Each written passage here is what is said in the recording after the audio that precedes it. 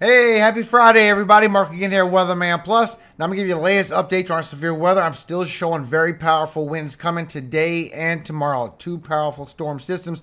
I'm still showing over 100 miles per hour winds as well. Plus our heat, because July 2021 is now officially our hottest month ever was recorded on record. And we are going to break in records already for this month. Matter of fact, for the heat for today, if you're in any of this red, you can expect heat indices of 100 to 105 today. If you're in any of these pink areas, you can expect anywhere up to 110, possibly up to 115 heat indices for today. So if you've never been here before, make sure you subscribe. I am all year long. Plus, you can see this has been put out by Scott Duncan Weather. I did retweet it. You can follow me on Twitter and other social media platforms, links in the description. But the hottest month ever was July of 2021, and this is what it looks like. And we are breaking that record for this month, guys. But you can also see here that the UN Secretary General put a warning out that we don't need to wait to the end of the month to find out unless there's a mini ice age in a few days that July 2023 will break all records.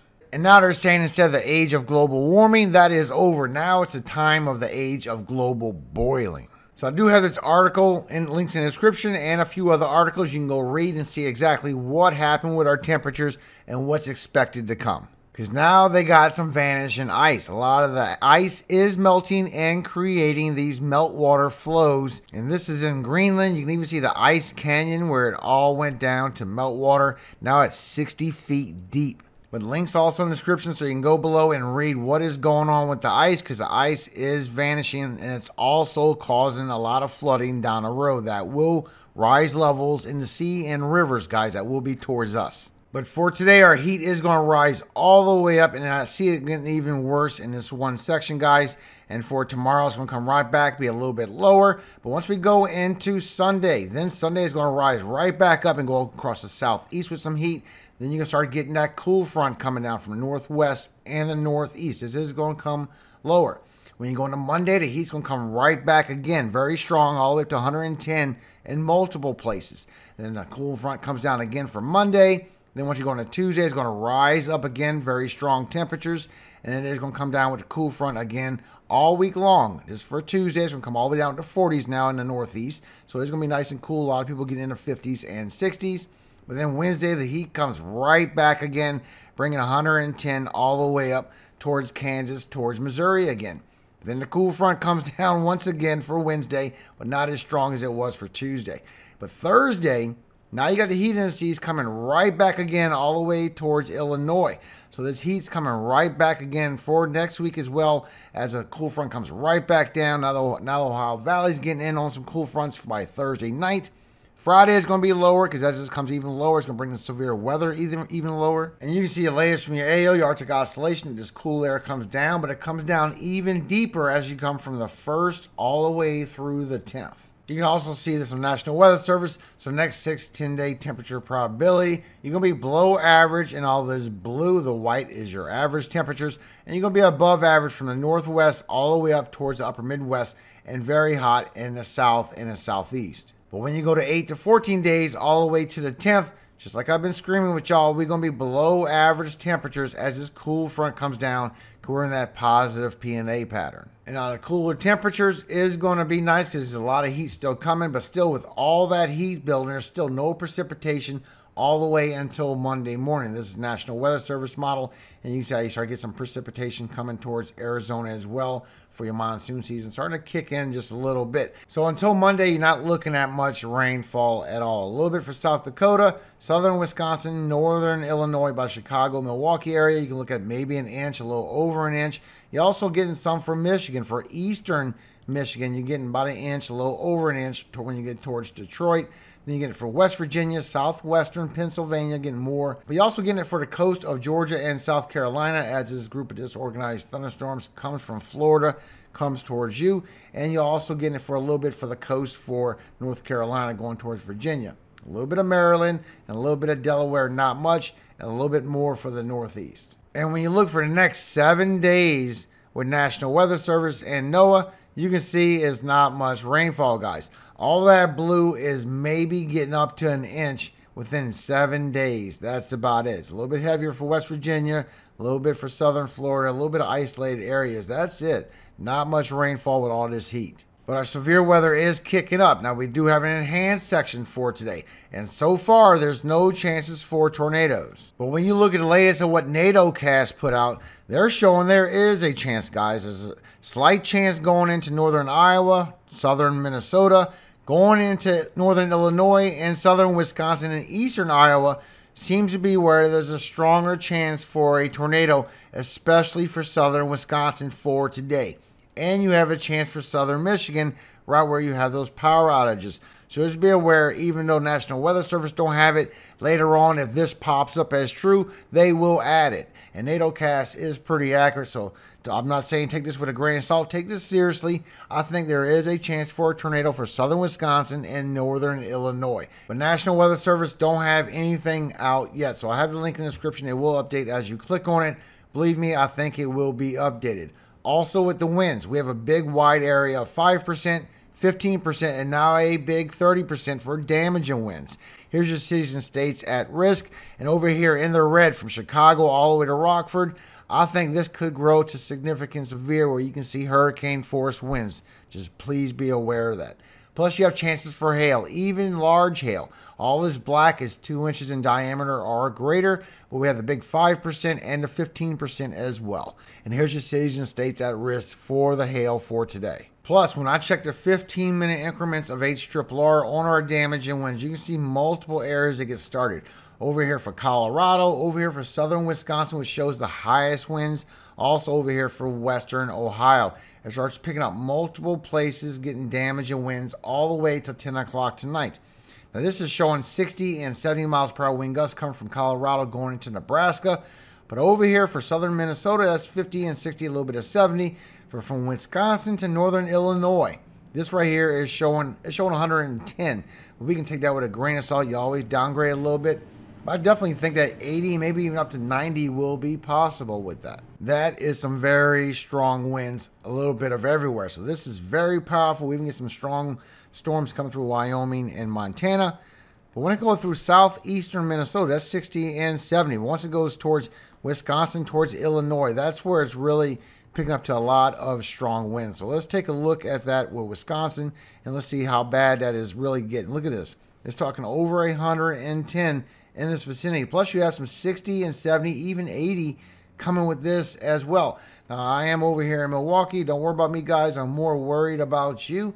But this is some very high winds that's going to be passing through for today. And when we upload the, the nearest one, the latest update, this shows a widespread area of just a lot of winds that's coming through for today. All showing 60, 70, 80, still showing over 90 in a lot of these storm cells. So what Nadocast showed that possible tornado for this region, I believe it. It's also showing that 50 and 60 miles per hour wind gust is picking up for Ohio as well. Also, once we hit around 5, 6 p.m., the storm's going by eastern Virginia, going to Maryland, Delaware, New Jersey, even eastern Pennsylvania, a little bit of western Pennsylvania. 50 and 60 miles per hour wind gusts. But you can see how much better resolution that actually is than just regular HRRR. Regular HRRR is showing a big pocket of high winds, especially right here for southern Wisconsin, northern Illinois. But you see how the 15 minute increments really gets in on it. But you can't see for tomorrow. So once you look for tomorrow, you see the storms come in later tonight from Nebraska. This is bringing 50, 60, even 70 miles per hour wind gusts all the way across southern Iowa, northern Missouri, across Illinois, Indiana, Kentucky, going to Arkansas, Tennessee. Just a big, nasty storm that's going to be brewing for tomorrow as well. Now, before we go to the map, guys, for tomorrow, there's a slight risk in multiple areas, and they are showing so far a chance for tornadoes in multiple locations. So far, there's your cities and states at risk. It is a 2%. Also showing wind for tomorrow and hail for tomorrow. So here's your cities and states at risk for the wind damage for tomorrow for Saturday. And here's your cities and states at risk for the hail for Saturday. They even have it stretching into Sunday for some severe weather, guys. I believe this could be possible hail. So far, here's your cities and states at risk, but do not rule out damage and winds. You saw how it was starting to get widespread. So as we go through this a little bit, we can see what's going with the storm. So you can see that a group of disorganized thunderstorms is coming towards the Carolinas. for this morning and passing through, and that is bringing y'all some rainfall. Still going all the way till noontime and 2 o'clock. Still bringing y'all some nasty storms. And still getting some nasty storms that's moving over Florida for today. So just be aware you could see another water spout possibility that could come close to land and see a possible tornado. You know how you get those all the time. Matter of fact, you got a little bit of a convection area right there, a little outlook for these storms as it comes in. But I'm not seeing anything brewing up. It's just going to bring some heavy rainfall and some storms towards y'all. And if you go for the whole 48 hours, it's not showing anything coming out of that. But these storms that's coming in for this afternoon, this is where it's really going to spark up some severe weather for Minnesota, for Wisconsin, going to Illinois, also for Michigan. Get a lot of nasty hail cores in those as well. And this is by 4 p.m. this afternoon. It starts to build up really strong. And look at this. This is by 5 p.m. And this is where we saw all them strong winds. Look at these hail cores that's coming in here. All this black that you see is all indicating chances for large hail. This is a lot of chances for large hail to come in all of this black section. Just be aware that I'm in, I'm in Wisconsin with you as well. Just be aware these storms are coming through all even along in 5 o'clock. That's when you really get a strong part on your daytime heating. That looks like a pretty serious uh, time is at around 5 o'clock. And then it goes to 6, and it keeps going to 7. It just strong storms passing through Wisconsin all even along by 8, by 9. Still there by southern Wisconsin, but now it's going towards Michigan. And that keeps going northern Indiana, northern Illinois. This swings through all even along, even by midnight, still sitting there going over Michigan, going over northwestern Ohio, over Indiana. And now it's going towards West Virginia, it's going towards Pennsylvania. And this is late in the night, early in the morning, y'all getting them storms, guys and probably getting some winds as well. You can see the bowing out in that line of storms as that keeps going all morning long. Then for tomorrow, for tomorrow it goes towards the northeast and the New England states. This is at six o'clock in the morning. It starts brewing up some storms for y'all, and it's mostly around the New England states, around New Hampshire, Vermont, Maine. You get a little bit of isolated for Pennsylvania, for New York. Then it sparks right back up with that daytime heating right around 4 o'clock. For Connecticut, Massachusetts, even get some for Rhode Island. All y'all getting in on some nasty storms for today and tomorrow. But y'all's is coming overnight into the morning, so just be aware of that. Then we got this nasty line of storms that's going to come in over here later tonight as all this swirls around. It's going to start off in Montana for 9 o'clock tonight, and it's going to swing around and it's going to get really strong once you get into the early morning hours. That's what's a little concerning. This is bringing high winds with this as well. Hail cores coming through Iowa by 6 o'clock tomorrow morning, South Dakota. Then it starts going through Illinois for tomorrow. And then you start getting like a little straight line event that kicks in for tomorrow afternoon from Illinois, southern Indiana. And that goes all even long into Kentucky as well. And once you get into 9 o'clock at night, then it starts going towards a little bit of northeastern Arkansas, a little bit of Tennessee. That's as far as we can take it, guys. So some strong storms for today and tomorrow. But the storms for today are really going to be strong. I guarantee that we're going to see a lot of reports coming through Wisconsin, through northern Illinois, and through Ohio and Indiana. A lot of high winds, a lot of large hail cores. I can't get over the size of the hail cores that's coming up with that shot. That is unbelievably large hail coming out of these storms. Just be aware of it. This is going to be a nasty storm. Plus the latest quick update on what's going on with the tropics, guys. We do have multiple areas. This one over here is at 0%, just like I showed you a little while ago. It's just going to be a group of disorganized thunderstorms. It's not doing anything out of it. This right here is moving through Central America, bringing some heavy rainfall, but that's going into the Eastern Pacific. And this disturbance has gone up to 60% chance. Now, that's a chance to get at least a tropical depression. I'm still showing no impacts. It's still going to curve around and not affect anyone. And you can see here from the Euro for cyclone locations, it could actually even strengthen up to tropical storm, maybe even a hurricane, which don't even matter, guys. It's not going to affect anybody. Still showing we're on that break all the way to August 10th and 11th. You can see here with the Euro, maybe some waves are going to start kicking off as we go from August 10th to August 12th. And for all my friends in the Caribbean, I know y'all getting pushed this. I see it out there. Oh, it's coming your way. You're going to be okay. You can see with the rainfall that you might get a half an inch up to an inch tops from this system as it turns by. This is about a Euro and GFS. No big deal. Also, with the wind, you can see with the wind accumulation for the next five days, not affecting y'all. You're going to be fine. And you can see the latest update with the Euro that we're still going on that break from any tropical activity all the way to August 10th or 12th, or maybe even further. Now, GFS says that it might be something that slips through on August 9th, also August 13th. It's been hitting a little bit in the Gulf of Mexico, a front induced low.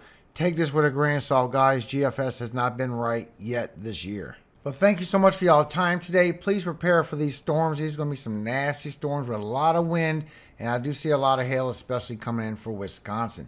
But those winds on two storms, it's not just one. It's going to come overnight tonight and start all over again for tomorrow. So please prepare for these storms. If you know somebody in these impacts, please share this information to them. Let them be warned of it. Get anything out your yard that could be projectiles for you or your neighbors. Keep everyone as safe as possible. I do appreciate every single one of y'all. Thank you so much for your time today. Now, today I want to read to you Psalm 107, 1 through 8. Oh, give thanks unto the Lord, for he is good for his mercy endureth forever. Let the redeemed of the Lord say so, whom he hath redeemed from the hand of the enemy, and gather them out of the lands from the east and from the west, from the north and from the south. They wandered in the wilderness in a solitary way. They found no city to dwell in. Hungry and thirsty, their soul fainted in them. Then they cried unto the Lord in their trouble and he delivered them out of their distresses. And he led them forth by the right way, that they might go to a city of habitation. Oh, that men would praise the Lord for his goodness, and for his wonderful works to the children of men. Amen. God bless you all. Hope you have a very safe weekend. I'm going to take my family out until Monday. I'll be back on Monday. I can't see myself taking a seven day vacation but I am going to take them out until then. So hope you will be safe from these winds for today and tonight, and I will see you again on Monday morning. And remember, all glory always goes to God, our Father in heaven, Yahweh. And I pray keeps y'all safe tonight. I think these winds will knock some power out. Just be careful. In Jesus' name. Amen. Hallelujah. Amen. Have a great night, everybody. And be safe, please.